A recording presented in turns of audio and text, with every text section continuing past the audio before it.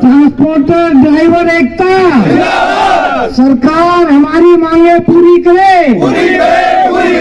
Akhil Bharatiya transport association से आज जंतर मंत्र पे धरना देके सरकार से मांग कर रहे हैं कि जो अभी पिछले महीने पाँच परसेंट जो टोल टैक्स बढ़ाया है, उसको तुरंत प्रभाव से वापस लें और इस टोल को एक मुश्त ले लें, क्योंकि जितना ट्रांसपोर्ट दस पंद्रह साल की गाड़ियों की उम्र कर रखी है तो दस पंद्रह साल की कैलकुलेशन करके वन टाइम ले लें और रोड टैक्स बंद कर दें, क्योंकि सारे टैक्स अगर हमें ही देने हैं तो फिर हम कैसे होगा। आज ट्रांसपोर्टर की हालत इतनी खराब है कि उनकी 50 परसेंट गाड़ियाँ बिना किस्तों के रोडों पे खड़ी हुई हैं घरों में खड़ी हुई हैं। अगर ऐसे ही चलता रहा तो बहुत बुरा हाल होगा।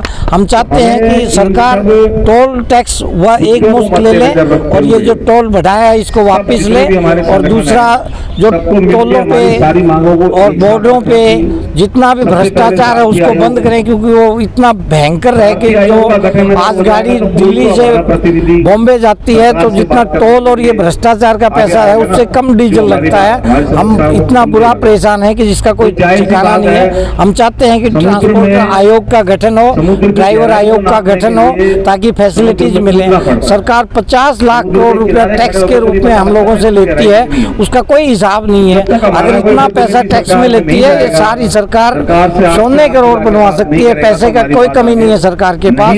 ये भ्रष्टाचार फैला रहे हैं अपने जेब में पैसा डाल रहे नेता हमारी सुनवाई नहीं हो रही। हम चाहते हैं कि जल्द से जल्द हमारी समस्याओं का समाधान हो और ये टैक्स वापस ले लें। सरकार को सुनना पड़ेगा। क्योंकि आपको पता है कि ये वो ट्रांसपोर्ट और ड्राइवर समाज है जिसने दो दिन पे सरकार को घुटने में ला दिया था।